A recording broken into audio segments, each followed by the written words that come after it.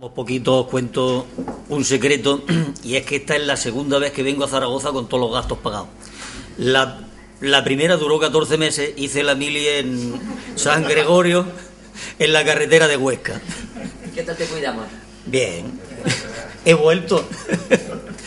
Eh, bueno, mm, mi experiencia, como veis aquí, se titula Dígale eso que son las siglas de digitalización global del área de lengua para enseñanza secundaria obligatoria. Os la empiezo a contar desde el principio. Hará como unos 20 años yo trabajaba pues, con un libro de texto de estos pues, tradicionales, de los convencionales. Eh, pero el libro de texto, los que habéis trabajado con libros de texto, los que hemos estudiado con libros de texto, que sois todos, Sabéis que los libros de texto tienen una serie de inconvenientes. Bueno, tienen una ventaja clarísima y es que son muy cómodos porque el trabajo te lo da muy estructurado, por eso es la herramienta más usual que hay. Pero tiene unos inconvenientes que son, por ejemplo, eh, pues que, ¿qué os diría yo? Que te plantean un modelo de enseñanza memorística. Entonces, ¿eso qué pasa? Pues que está obviando una serie de competencias lingüísticas, de habilidades que son las que tenemos que trabajar, por ejemplo, la expresión oral, o la expresión escrita, eso te lo olvidan. Le dan importancia a la gramática sobre otra serie de competencias y de habilidades. Pero el defecto más claro que yo le veo es que eh, los libros de texto no están adaptados a nuestro alumnado.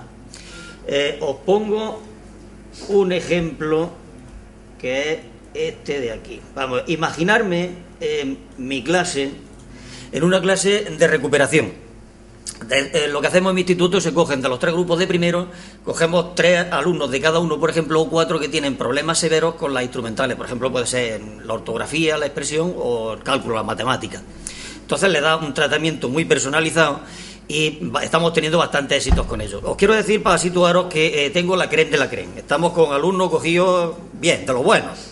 Entonces tengo a mi Fernando de mi alma en la pizarra y le digo, Fernando, escribe, el chándal tenía tres agujeros. Si no soy muy exigente, el chanda tenía y tres, lo puso bien. Pero luego va el tío y me pone esto. No. Yo le digo, Fernando, vamos a ver, agujero se pone con B. Fernando me pone esa cara inteligente que tiene y dice, vamos a ver, Fernando, agujero se pone con V. Fernando ni corto ni perezoso, más E, perdón. Que estoy dándole donde no es. Lo teníamos así, me hace esto y me lo pone eh, de esta manera. que se me ha quedado esto cargado. Entonces yo me pongo muy serio y va a decirse luego si te ríes, que vas de cachondeo, y le digo, pero hombre, vamos a ver, así, y le pregunto al resto de la clase, ahora ya sí está bien escrito, esto ya va a fenómeno, y cientos con la cabeza, así, ahora sí. Menos el Jorgito que se sienta el último y me dice, pero temiendo decir una barbaridad, y dice, profesor, yo creo que se pone con G. Le menos más que hay uno que se ha dado cuenta, por favor, menos más que hay uno. Seréis bruto, anda Fernando, pon eso con G. Y Fernando pues lo puso con G. Hizo exactamente esto. Quizá el ejemplo os parezca un poco extremo, eh, pero viene a ilustrar lo que os estaba diciendo, que nuestro alumno tiene unos problemas concretos y que ese libro de texto no te los va a resolver. Eh, este el problema estaba clarísimo a nivel cultural de la familia. Esto no se da en otro alumno del mismo centro, se da en este caso, ¿no? Pero igual hay, pues incluso los, problemas ortográficos vienen por situación geográfica, es decir, los problemas eh, en ortografía que pueda tener un niño de Andalucía o de Canarias, que ese sea, son muy diferentes de los problemas ortográficos que vaya a tener un niño de Valladolid o de Burgos, ¿no? Que estos van a tener problemas de la IMO. Entonces, el problema que era, pues que los libros de texto no te sirven. ¿Qué tienes que hacer? Es crearte todo el material. Y eso fue exactamente lo que he hecho. Me he creado mi libro de texto propio desde hace bastante tiempo. Entonces, eh, es un libro de texto que tiene, pues, más o menos lo que traen los otros, sus resúmenes de gramática, pero también tiene poemas y cuentos de los niños, con los cuales yo los enseño a escribir, los enseño a expresarse, los enseño pues, a escribir una carta o un poema. ¿Tiene textos literarios? Vale, tiene textos literarios porque vienen en el currículum. Pero esos no son los textos que se encuentra un niño en la calle, un niño en su vida normal. Eh, un niño no se encuentra un texto de Machado de Lorca. Eh, nos dicen muchas veces, nos acusan que la educación está muy alejada de la realidad. Y es cierto, entonces, ¿qué pasa? Pues que un niño se va a encontrar, pues, por ejemplo, un manual de instrucciones, se va a encontrar un formulario, se va a encontrar una tabla o un anuncio. Entonces nosotros tenemos que enseñarlo a manejar esos textos, que son, veis por dónde va eh, lo del informe PISA, precisamente por ahí. Entonces, este libro de texto, pues, eh, me ha funcionado muy bien durante, pues eso, casi 20 años, ¿no?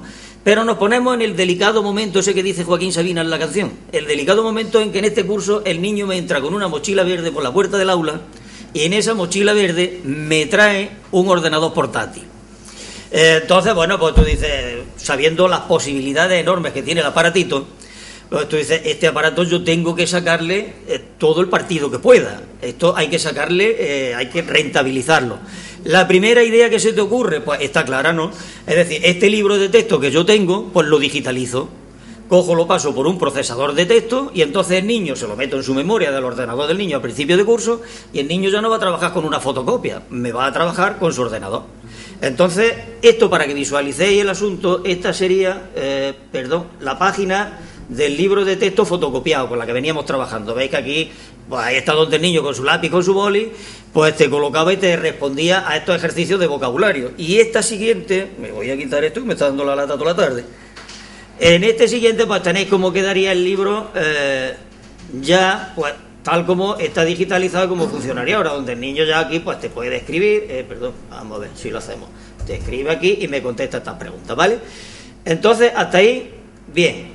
Pero eh, resulta que hay que ser más ambicioso. Es decir, yo digo, vale, bien, esto es el libro de texto, tenemos una parte, pero yo quiero sacarle más partido a ese libro de texto. Entonces, ah, ese libro de texto, perdón, no, me distrae lo de la puerta. Eh, quiero sacarle más partido al ordenador. Entonces, voy a ver qué materiales tengo yo, de qué materiales dispongo, porque yo tenía ya producido algún otro material. Eh, uno no empieza en esto de las TIC, no empieza de la noche a la mañana. Esta noche me ha dado la manilla y ya voy a funcionar mañana con TIC. Hace tiempo yo ya le había visto, en mi centro se le había visto las posibilidades que tiene pues, la informática y las nuevas tecnologías. ¿no? Y entonces empecé a trabajar eh, primero con biblioteca de aula. Os explico la génesis del asunto. Yo trabajaba en un centro donde había una biblioteca de aula bastante bien surtida. Yo veía que los niños se llevaban los libros, eh, los llevaban su mochila, los trabajaban en la casa, te los volvían, te hacían su resumencito y tal. Pero resulta que a final de curso tú le aplicas una típica encuesta de estas que aplicamos sobre hábitos lectores y más de la mitad de aquellos me confiesan, eh, escudándose en el anonimato, que nunca en su vida habían leído un libro. Y tú dices, bueno, ¿qué pasa aquí? Si yo veo que este alma de cántaro hace la, comunión y su tita le ha regalado un libro, que cumple años la vecina del quinto le regala un libro, que en su casa hay libros y me dice que no ha leído nunca un libro. Entonces, ¿dónde estamos fallando? Pues claramente estamos fallando en el control y el seguimiento, en el seguimiento de ese proceso lector, ¿no? Entonces, pues pacientemente empecé a leer libros de literatura infantil y juvenil y tenía yo una carpeta donde iba metiendo un resumen del argumento y una serie de preguntas de comprensión. Claro, la carpeta con el tiempo pues fue engordando. La carpeta terminó siendo un carpetón. Y aquello era muy incómodo de manejar porque llegaba algún compañero nuevo destinado al centro y si quería trabajar la biblioteca de aula, pues le tenías que fotocopiar un tocho enorme. Entonces, pues se me ocurrió digitalizar el asunto. Eh, entonces, así nació el programa este de la ruta de la aventura. ¿Dónde lo tenemos? Eh, ¿Dónde tenemos esto, chicos? Eh, en ruta, ¿dónde lo teníamos, Pilar? Eh, este. ¿Era de internet? Sí. Pero este no era, este no era, era otro. Eh, página 3, página nueva. ¿Página dónde lo tengo este? Sí, otra vez, otra vez a Mozilla. A Mozilla. Ahí. Y en, arriba en la pestaña, ah, vale. 3.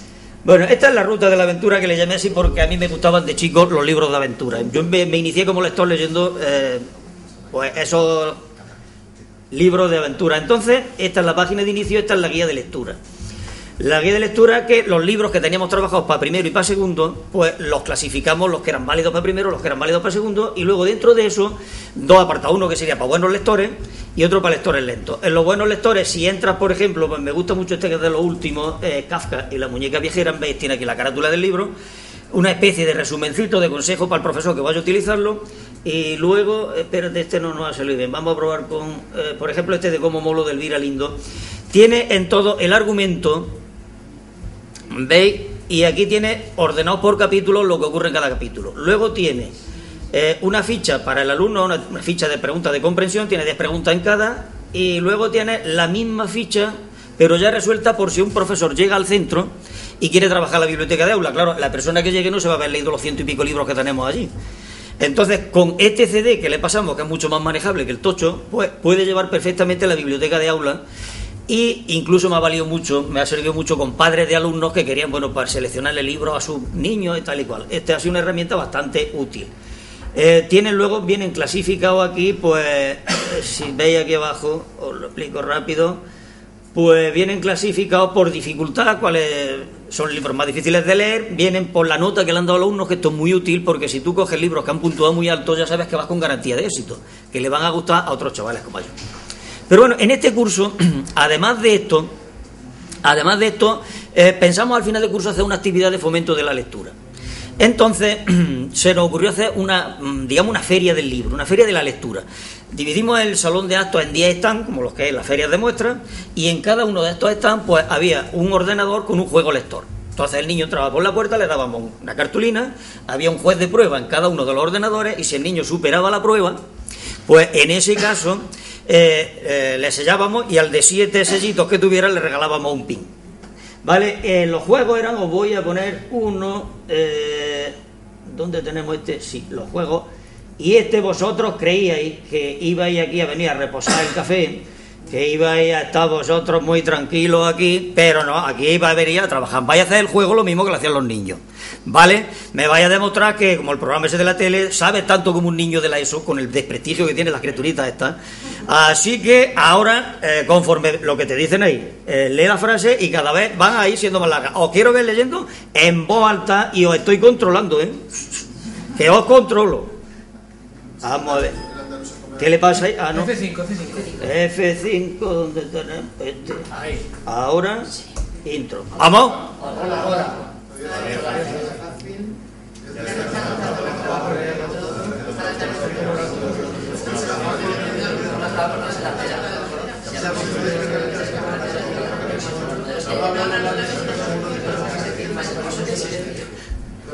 Venga, venga. Esta me parece que es regular. Bien, además de esto, os voy a poner otro modelito de juego. Espérate, a ver, ¿dónde lo tenemos? Uy, se me pierden a mí estos, chicos. Vamos a ver, entre que no estoy yo, a ver, juego este.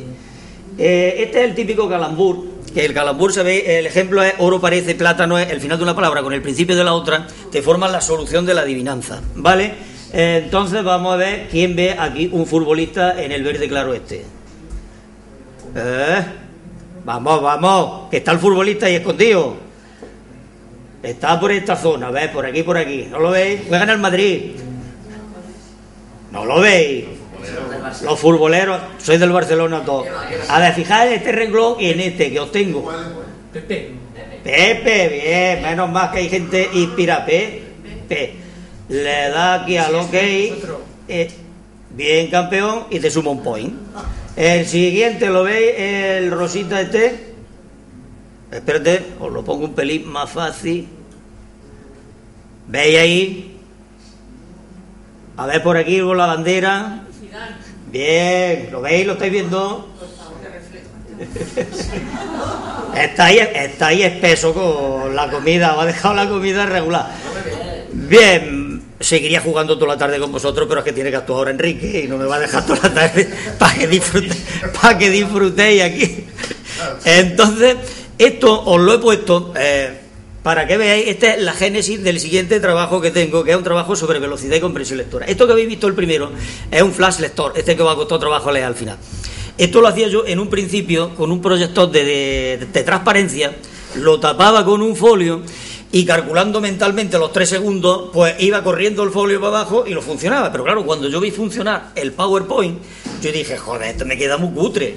Esto lo hago yo en PowerPoint y me saco aquí, pues no veas tú, me saco unas presentaciones de lujo. Y entonces empecé a trabajar por ahí.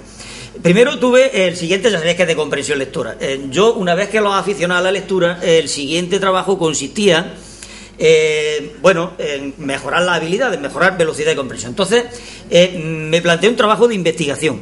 Me leí un tocho de, de, mm, de libros, de manuales sobre velocidad y comprensión lectora, sin exagerarte lo menos así de harto. Algunos más feos que una multa, ¿eh? Y de todo eso mm, saqué, bueno, metodología, eh, actividades, etcétera. Pero sobre todo lo que hice, pues no es ningún invento así raro, sino lo que hice fue eso, eh, estas actividades que planteaban estos manuales tan sesudos fue trasladarlas a que los niños, eh, trabajarlas para que los niños pudieran eh, hacerlas con su ordenador. Entonces, pues tenéis aquí, estamos otra vez liados con el tema, a ver, página, ¿dónde está? Aquí la página. este es la carátula de Pincel, que es programa para interioriza- interiorización de nociones y corrección de errores lectores. Eh, está planteado para que los alumnos mejoren en velocidad y comprensión lectora. Hay el flash lector este que habéis visto, eh, hay test de velocidad lectora que al principio los hacía yo pues manualmente, este te los calcula ya la velocidad lectora. Hay ejercicios, actividades del tipo visión periférica que consisten eh, desde el principio, vale. Consisten, como veis, en que amplíen el, campo visual, que en cada fijación visual eh, cada vez vayan captando más palabras, porque eh, un niño cuando empieza a leer, pues lee de una fijación, lee una sílaba. Cuando después una, una letra, después una sílaba, y un lector avezado como nosotros, pues te lee por lo menos cuatro o cinco palabras en cada fijación. Se trata de que eh, capte más palabras y será mejor lector, ¿no? Eh, tenemos ejercicios de este tipo que puede ser, por ejemplo, de integración visual. Esto, perdón, vamos a ver, este no es el que quería poneros. Eh, integración visual quería poneros este en principio, que eh, lo tenemos por aquí.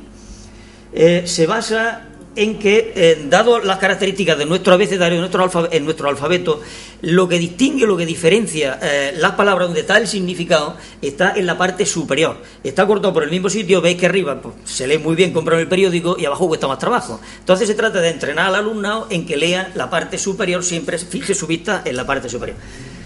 Este sería, eh, digamos, bueno, hay ejercicios como este, que este es muy, eh, perdón, ¿qué he hecho con esto? Bueno, este sí te lo tuve que quitar del medio. Eh, vamos a ver. Página 1, que es esta, ¿no? Fuera. Tengo esto de identificación rápida. Esto lo hacemos con carrera. Se ponen todos en esta página y empezamos preparados, listos ya.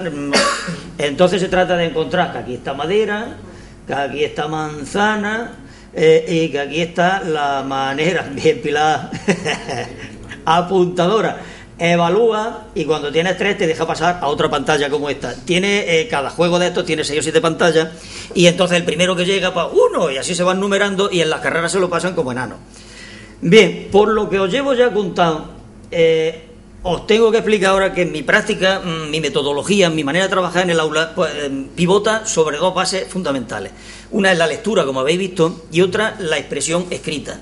El- mi presentación ahí en el foro presumo de un libro que me eh, publicó el CE hace ya tiempo sobre creación literaria. Entonces, yo lo considero eso una de las habilidades eh, fundamentales que tienes que conseguir en el alumnado. Entonces, eh, esto funciona, vamos a ver si me lo traigo al sitio que quiero enseñaros, que es aquí. Esto es una página del libro, del libro digital este que le he metido a cada niño. Entonces, en la expresión escrita siempre nos vamos a esta página cuando quiero que hagan un poema, vaya a hacer un poema, así que empezar ya a convocar a las musas que tienen que aparecer por aquí, esperemos que después de comer no se nos hayan dormido, y eh, esto nos sirve como modelo, porque ellos ven que si Marisa lo ha hecho, que está correteando por el patio, lo mismo que ellos, ellos pueden hacer igual, ¿no? No lo consideran una historia muy eh, imposible de, de hacer, ni el miedo, ni el pánico al folio en blanco este, que dicen hasta los grandes escritores, ¿no? Entonces comentamos el poema, os lo leo para que veáis que el poema está majete, preciosa, soñadora, deslumbrante, tan misteriosa como la luna en la, en la silenciosa inmensidad, más plateada que una joya, muy divertida, cariñosísima, es tu mirada, mamá. La madre amiga mía me contó que le había dado 10 duros, eh, 10, 10 duros, 10 euros a la niña. Yo le dije a la niña, la próxima vamos a media, ¿vale? Tú has puesto el poema, pero la idea es mía, ¿no? Esto, hay que rentabilizar todos estos asuntos, ¿no? Bien, eh, esto, aunque parece un poema, resultó muy bonito, está muy majete. eh, detrás de esto lo que hay es un palizón de gramática. Imaginaros que vais sobre todo lo que es un adjetivo, las funciones del adjetivo, eh, el análisis del adjetivo. Entonces, vamos a hacer ahora, ya en serio, vamos a hacer un poema como este. Entonces, eh, yo pongo a tres en la pizarra y empiezo a pedir adjetivos, eh, por ejemplo, para un príncipe, para un amanecer, para un río, para lo que queráis. Entonces, esta es la lista que hubiera salido de los que tienen anotado ahí en la pizarra. Yo ya os he contado lo que son los grados de significación del adjetivo. Grados positivos, ya sabéis, tal cual, comparativo y superlativo. Y entonces ahora viene cuando hacemos el poema. Me vaya a decir, eh, bueno, primero hay que elegir el tema.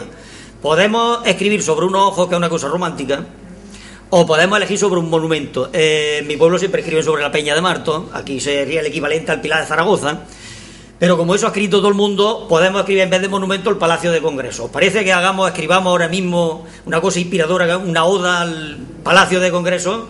Está inspirado, ¿no? Venga, que empezamos. Entonces, lo escribimos aquí, Oda al Palacio de Congreso, ver si tengo sitio, sí tengo. A ver. Vamos a ver. Oda al Palacio. Bueno, lo dejamos así porque de Congreso no me cabe muy bien del todo. Me vais a elegir tres adjetivos que le puedan funcionar al Palacio de Congreso en grado positivo, de todos esos que hay ahí. Mm, Veamos. Venga, que hable alguien rápido que... Cristalino, bien. Cristalino. Cri- A ver, le quitamos una. Atrevido. Bien. Atrevido. Otro. Fresco. Fresco. Bien, genial. Os veo inspirado, a pesar de la comida. Quieto que este vamos la flechita de arriba. Comparativo de igualdad. Este os lo empiezo yo. Sería tan elegirme otro Valioso. valioso como ¿cómo? Deslumbrante. no deslumbrante no como qué una comparación tan valioso como un diamante ponemos una joya como el agua Ah, bien, vale, vale, vale. Y ahora completáis como el agua que corre que fluye una frase como como, como el agua que Cura de los Pirineos. ¿cómo? O el agua de los Pirineos. de los Pirineos bien y esto porque se me ha puesto ahora en azul de los Pirineos ahora vamos eh, comparativo comparativo de superioridad más más elegidme uno transparente transparente transparente que Que el agua de los Pirineos. Hombre, que el agua del Ebro, mucha agua, ¿no? Vamos a cambiar de agua. Más transparente que. ¿De qué? Que la luz. Que la luz y. Completamos la frase. Que la luz Del Moncayo. del Moncayo. Bien. Con mayúscula, mayúscula. Eh, perdón, se me ha ido. Mira que al Moncayo le tenía yo manía por el viento. ¿eh? Sí, sí, sí. Os preguntaréis el comparativo de inferioridad que no tapa porque no me gusta. Entonces pasamos al superlativo. Superlativo con muy, muy, y elegidme uno. Muy cálido. Muy cálido. Y ahora otro que termine, quieto, vamos a quitarle esto. Que termine en ísimo. Genialísimo, potentísimo, perfumadísimo. A ver, elegí uno. Hermosísimo. Y ahora terminamos, pues eres tú. Perdón, a ponerlo en su sitio. Eres tu palacio de Congreso de Zaragoza. Ahora veréis.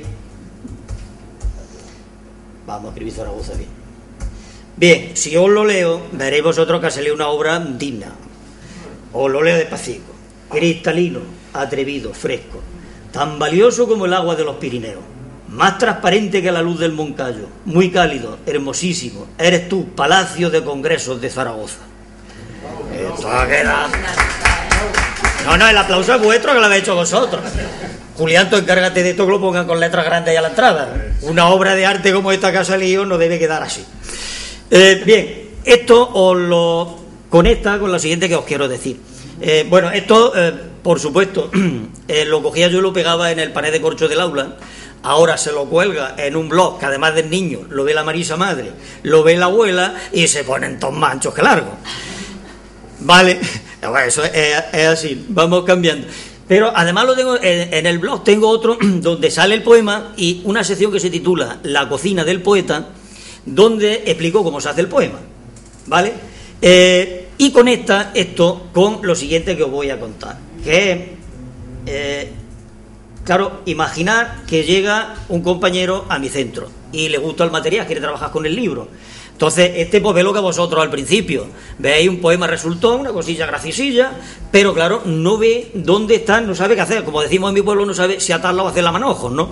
Entonces, le he preparado una guía didáctica donde cada actividad, no solo de estas de creación literaria, sino de cualquier otra que existe en el trabajo, le explico cómo se hace. Aquí tenéis explicado el mismo proceso que habéis seguido vosotros, no necesitáis que os lo explique porque ya lo sabéis, lo habéis hecho, pero cualquiera que no lo haya visto se viene aquí y entiende cómo hay que meterle mano, cómo hay que hacer un poema o cualquier tipo de ejercicios que hayáis. Bien, eso eh, por un lado. Teníamos también otra de las producciones que tenía J. Click. Entre los compañeros, este es mi pueblo, y la foto la ha hecho mi mujer. eh, J. Entre los compañeros, yo hablo con la gente y lo notan, vamos, tienen, no tiene mucho prestigio entre la profesión, entre los maestros. Eh, lo consideran como un juguetito, algo que lo pones para que los niños se entretengan y tal, pero que tampoco es demasiado útil ni tal, incluso el que me enseñó a mí que me dio el curso, ¿no? Eh, yo opino todo lo contrario, porque para mí ha sido muy, muy útil, porque esto te permite a alguien que no tiene ni puñetera idea de, de esto de programación, como es mi caso, te permite que tú puedas fabricar trabajos que el niño va a hacer con el ordenador. Entonces, esto estaría en la carpeta del profesor, porque hay una carpeta que, como he dicho al principio, le meto al alumno en su memoria, en su disco duro, y hay una, una carpeta que le doy al profesor, que tiene el profesor. Entonces, en esta veis que tiene la flechita esta azul activada. Esto me sirve pues para explicarle cada una de las actividades, lo que tiene que hacer en cada una, y cómo tiene que orientarlo, las dificultades que va a tener. Pero el alumno, esta flechita de avance, la tiene desactivada. De manera que hasta que no tiene el ejercicio terminado y completamente bien hecho, la máquina no lo deja que siga. Y fijaos que el sistema es igual que el que tienen ellos los videojuegos, eh, la videoconsola, los videojuegos que tanto les gustan, ¿no? Entonces, estos me lo suelen pedir eh, el día que toca J-Clip, pues se lo pasan en grande. Bien, bueno, este es, perdón, el material del que disponemos. Yo tenía todo este material encima de la mesa, ¿vale? Y entonces yo quiero hacer una programación, quiero eh, toda mi asignatura, toda mi área, quiero organizarla para trabajarla con el ordenador.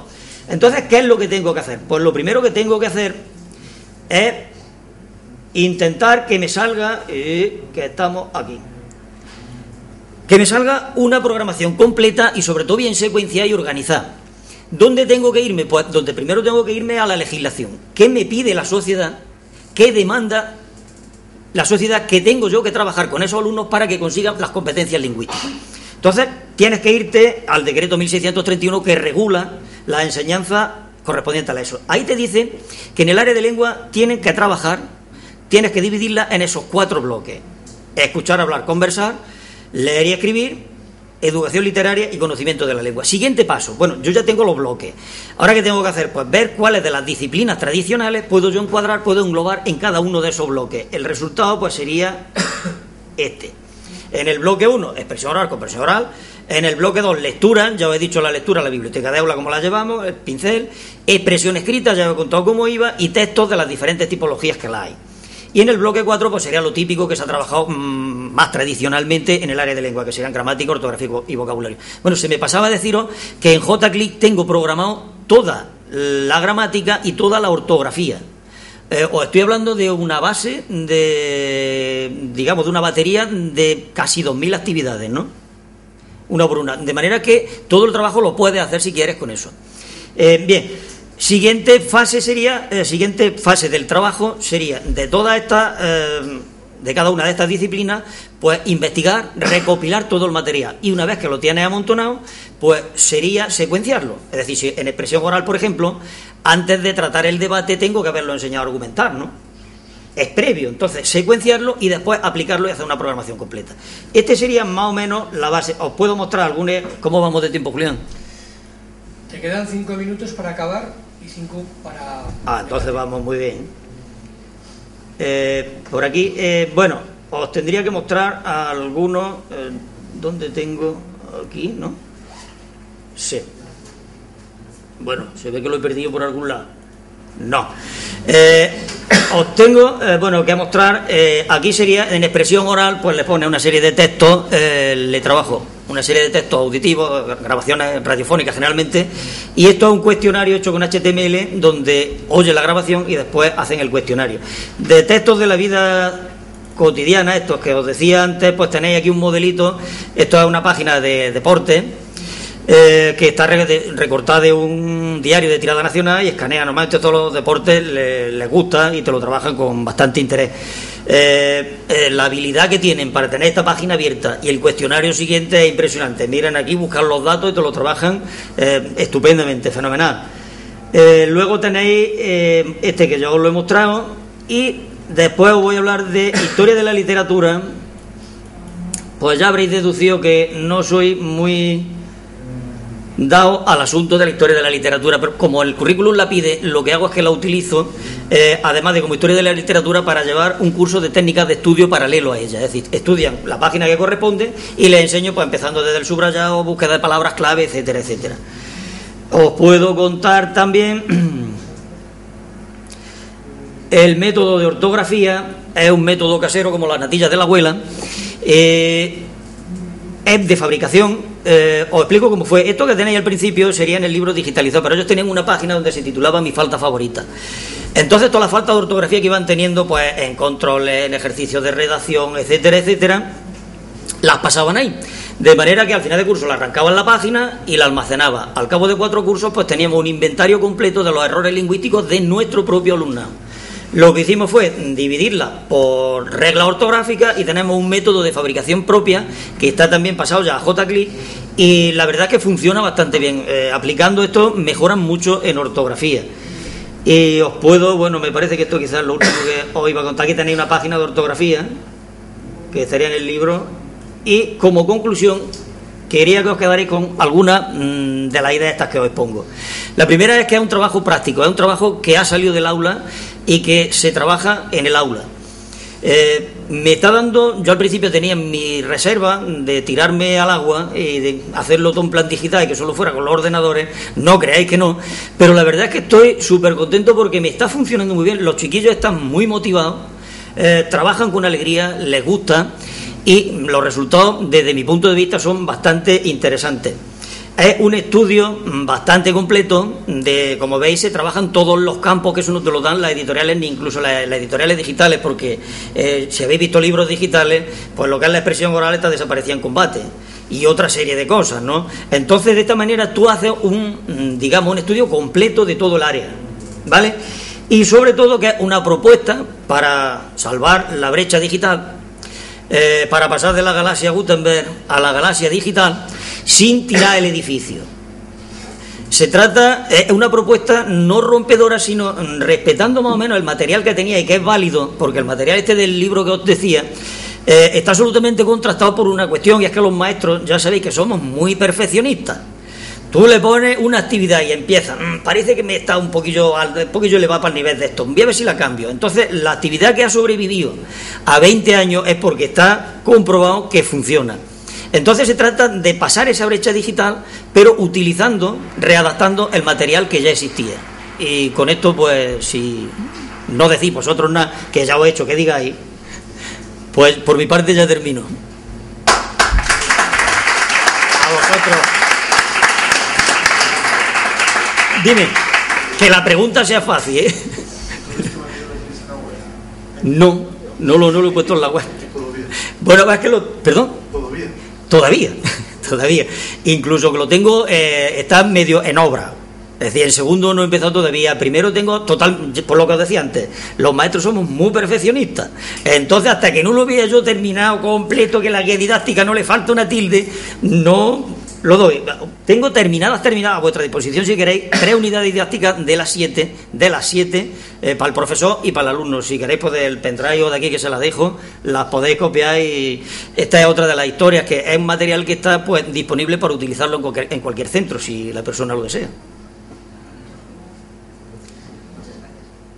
A vosotros. Pilar, que es más apañada que un jarrillo lata, te lo copia.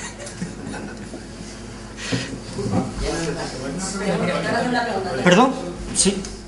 Eh, ¿Has comprobado eh, los resultados a nivel de la evaluación? ¿De la evaluación? De tu percepción, de su motivación, de su interés. Algo que sea medible y... Bien, lo de la evaluación, te voy a decir los resultados de mi evaluación. En un curso mm, normalito de 25 alumnos, tengo una que es asentista, entonces esa no cuenta, y he suspendido a otro. Porque es muy vago. El resto han aprobado. Eh, ¿Me puede decir también que, claro, depende del sistema de evaluación que utilice, ¿no? Porque esa es otra. Yo entiendo la evaluación que no se trata de ponerle zancadilla al alumno, sino de ayudarle a que apruebe. ¿Vale? Eh, entonces, como resultado me valen eso. Me vale que si aprueba, pues 90 y algo por ciento, yo entiendo que el- es válido. También es muy subjetivo mío, claro. ¿Tienes estructurada tu forma de evaluar el, el progreso de acuerdo a los, a los resultados en estas actividades? Bien, yo cada, eh, cada unidad didáctica se le aplica, bueno, pues una evaluación a cada uno de los bloques estos, ¿no?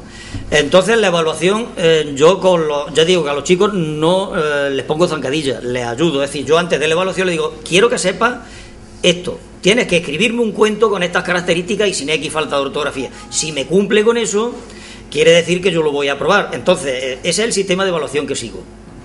Y con ese sistema me están aprobando pues este porcentaje que te digo. ¿Alguna? Bueno, pues gracias a todos.